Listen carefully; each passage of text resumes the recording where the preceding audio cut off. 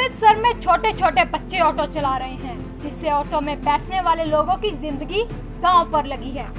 लेकिन इस तरफ़ ना तो प्रशासन का ध्यान है और ना ही उन बच्चों के माँ बाप का। और जब हमने इस बारे में पुलिस के आला अधिकारियों से बात की तो उनका जवाब भी हैरान कर देने वाला सामने आया। उनका कहना है कि थोड़े बहुत ऑटो होंगे जो 15 से 16 साल के बच्चे चला रहे हैं और अब वो इस मामले पर कार्रवाई करेंगे। ਵੇਖੋ ਜੀ ਜਿਸ ਤਰ੍ਹਾਂ ਤੁਸੀਂ ਕਹਿ ਰਹੇ ਹੋ ਵੀ ਕੁਝ ਆਟੋ ਮਾਈਨਰ ਚਲਾ ਰਹੇ ਨੇ ਵੈਸੇ ਬੜੇ ਰੇਅਰ ਹੈ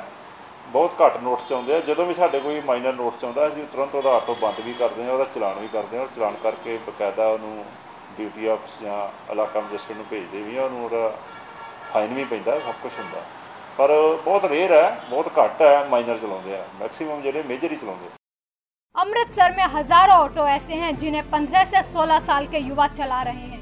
एक 16 साल के ऑटो ड्राइवर ने अपनी उम्र तो 18 साल बताई लेकिन जब उसे आधार कार्ड दिखाने के लिए कहा तो उसके आधार कार्ड पर उसकी उम्र महज 16 साल निकली और ऑटो ड्राइवर मीडिया पर इतना भड़क गया जिसका नजारा आप खुद देख सकते हैं ਭਾਈ ਨਹੀਂ ਡਰਾਈਵਰ ਲਾਇਸੈਂਸ ਤੁਹਾਨੂੰ ਪਾਓ ਭਾਈ ਉਹ ਭਾਵੇਂ ਬੈਠੀ ਉਹਦੀ ਬਣਾ ਮੈਂ ਮੈਂ ਗਾੜੀ ਰੋਜ਼ ਚਲਾਉਣਾ ਗੱਡੀ ਭਾਈ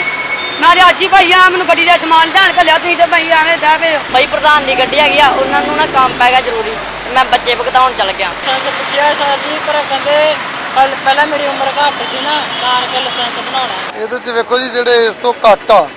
ਉਹਨਾਂ ਦਾ ਤੇ ਹੱਕ ਨਹੀਂ ਬਣਦਾ ਜੀ ਨਹੀਂ ਡਰਾਈਵਰੀ ਕਰਨੀ ਚਾਹੀਦੀ ਉਹਨਾਂ ਨੂੰ